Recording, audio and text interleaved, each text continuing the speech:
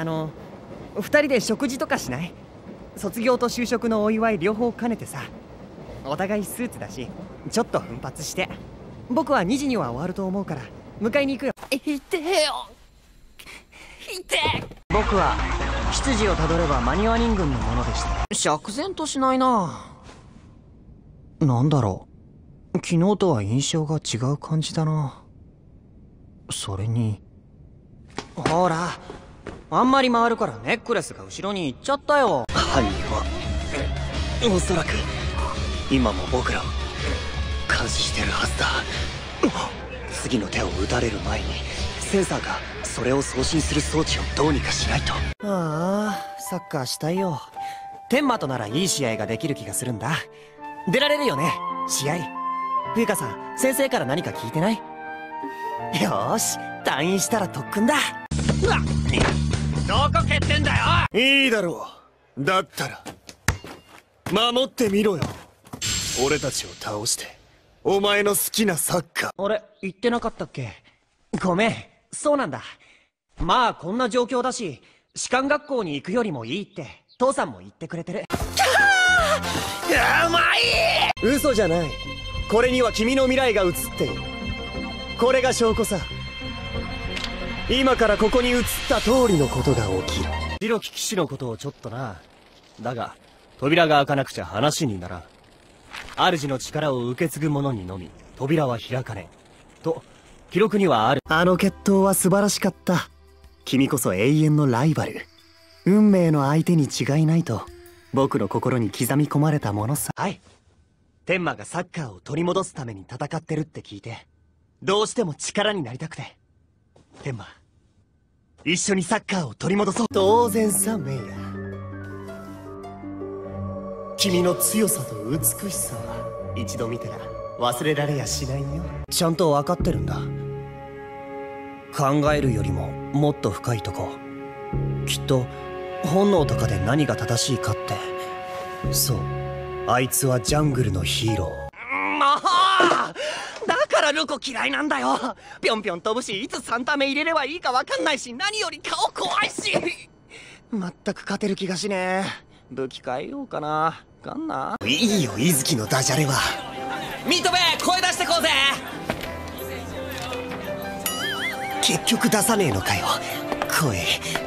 が君ちょっといいかな。えー、せっかく取ったのにもったいないよ。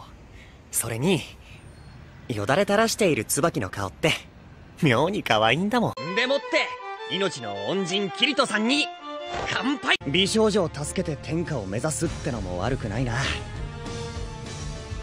見てろよおっさん。今日から俺が秀吉の代わりだ。気をつけて僕たちより君らの方が。聖堂高校。あの高校には絶対に負けたくない。使いこなす操作センス。実に素晴らしい。お互い悔いのないように戦おう。俺はな石をぶつけられて当然なんだ。分かったろ。俺と一緒にいるとおめえも江戸の嫌われ者になっちまうぜ。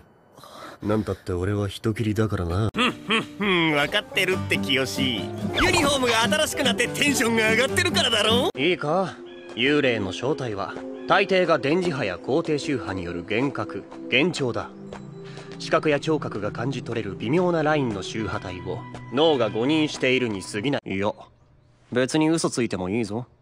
俺もよくついてる。知ってるものを知らないっつったって別にいいんだ。許容しないで強要する方がおかしい。そうだ。王宮の警備はもう緩み切っている。影帽子を暴き出し国を取り戻すのは今しかない。実は。横浜コスモランドの観覧車は一周15分もかかるんだ。はじめまして生徒会のお姉様有川の同級生の田所です。よろしかったらこの後お茶でも。いやそんなこと。それに無理なお願いをしたのはこっちだし本当に出てもらえるとは思ってなかったんだ。